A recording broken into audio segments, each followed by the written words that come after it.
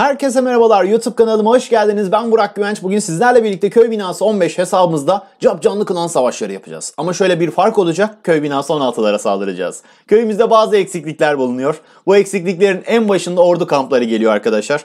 Maalesef ordu kamplarımız köy binası 14'ün maksimum seviyesinde ve 300'lük kapasitemiz var gördüğünüz gibi. 320 olması gereken kapasitemiz 300. Bir tanesini yükselttim. Diğerine çekiç vursam mı diye bir arafta kalmıştım. Sonra gittim çekici klan kalesine vurdum. Dedim buradan 5 birimlik bir artış sağlansın. Aynı şey dedim.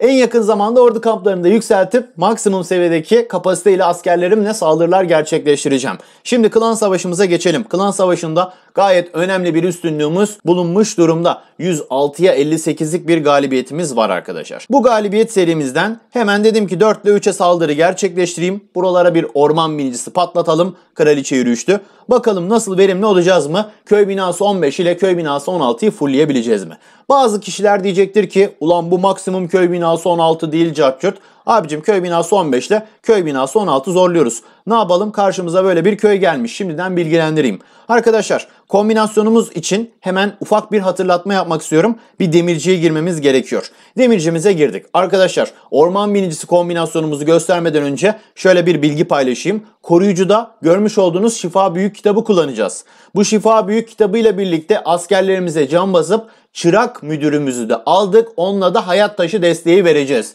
Böyle bir ince detay bilgi paylaşayım istedim. Barbar Kralı Dev Eldiven ve Öfke var. Koruyucudaki standart kitabımız var. Sonsuz Büyük Kitabı Kraliçenin ve Kraliyetinde standart özellikleri ektedir. Elimizde ufak bir madalya varmış. Şu koruyucu için şifa büyük kitabına birazcık seviye vermek istedim. 3 seviye verdim.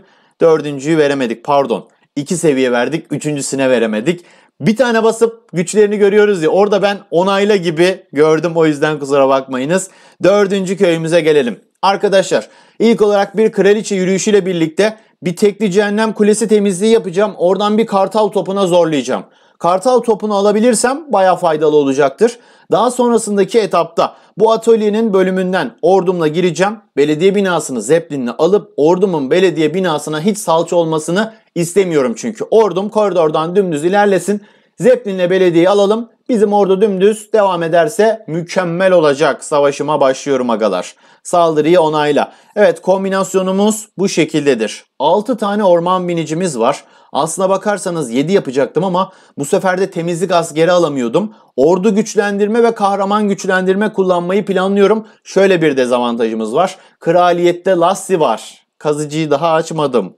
O da büyük bir problem arkadaşlar. Saldırı butonuna bastım. Hemen kahraman güçlendirme ve ordu güçlendirme. Çat çat çat çat. Evet sinsilerle bir ılık temizlik yapalım.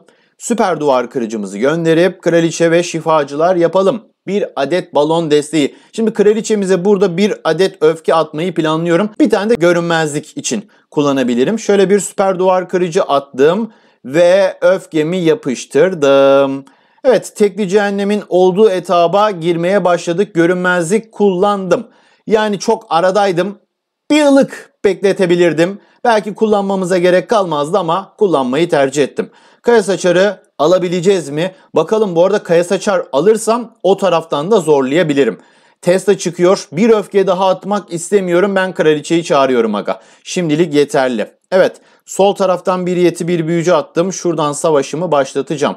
Koruyucumuzu da gönderdik dostlar. Hemen bir Buz Golem, Barbar Kral ve Orman Bincilerle birlikte kelle avcısı. Şu aralığında bir öfke kullanalım. Bir tane de güdümlü testimizi yapalım agalar. Müdürümüzü atmayı aman unutmayalım. Kraliyeti de paslayalım. Çaprazdan bir Zeppelin gönderimi gerçekleştirdim. Ordunun arkasına gelmesi için beklemiş olduğumuz bir gördüğünüz gibi koruyucumuz ve kraliçemiz vardı. Koruyucu özelliğini gayet güzel bastık. Şuradan bir belediye binasını alalım. Kraliyet birazcık bedavadan yem olmuş gibi oldu. Çünkü birazcık istemediğim bir noktaya gitti. Hemen monolit alanına bir dondurma ve arkadan bir kelle avcısı desteği.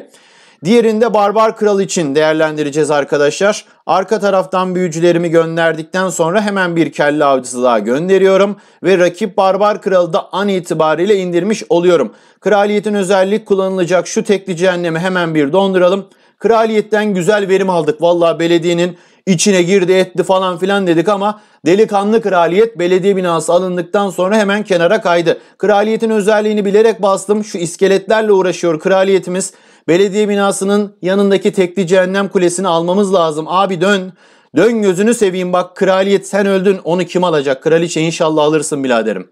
Özelliğin yok. Tekli buzul morsu da. Oo çok güzel. Şimdi süreden bir patlama yaşayabiliriz. Orman biniciler hayatta aşağıda bir şey kalmadı. Orman biniciler adamsınız. Şu an beni korkutan bir şey var. Bu da kara iksir deposu. Arkadaşlar şaka maka baktığınızda köy binası 15'te köy binası 16'yı fullledik. Ve askerimizi de arttırdık. Ki baktığınız etapta kraliyette Lassi var. Bak kazıcı ya da ankayı kullanamıyorum. Morsu'nun seviyesi düşük. Ordu kampımda 20 birimlik eksiklik var.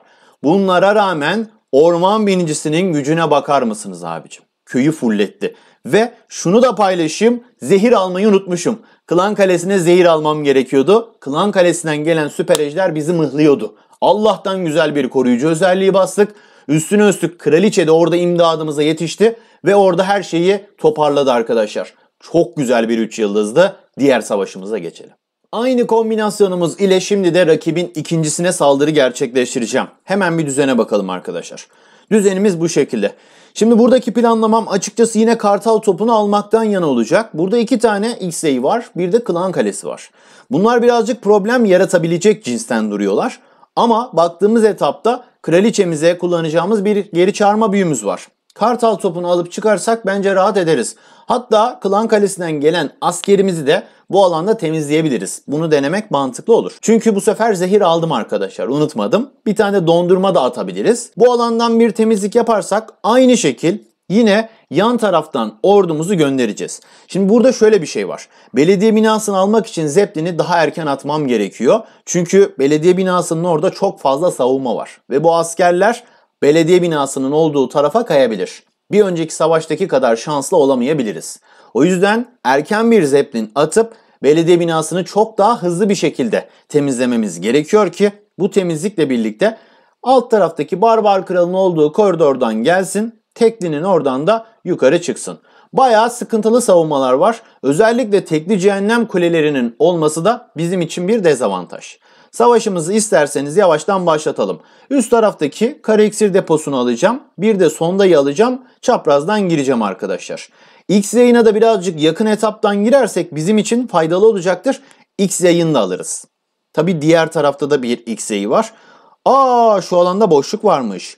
Boşluğa bir asker atıp Klan Kalesi'ni üst tarafa çekmek bence mantıklı bir hareket olur. Ama feda edeceğimiz asker nedir?